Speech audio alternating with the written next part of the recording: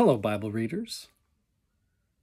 Our culture has a weird relationship with death. Sometimes we almost treat it as a failure of some kind, like when somebody dies, as though it's avoidable if we only are careful enough or take control enough or try hard enough. And then when somebody does die, many of us resist even calling it death. She passed away sounds more polite to many of us somehow. To say she died, it almost sounds like using a curse word. But the curse of death is over in a world where Jesus didn't stay dead. Death is held now in the same hands that created the universe hands that resurrected, hands that save. So, why give death such power that we won't even say its name. It's just death.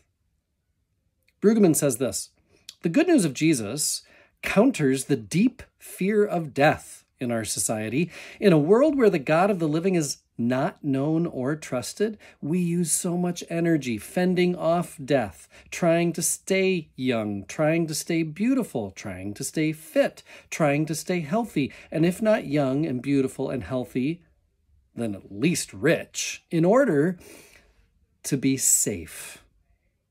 But all this frantic attempt to enhance life is in the end futile. For death as life is in God's hands, and we are safe. We are safe.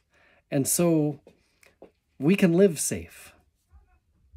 Keep faith alive.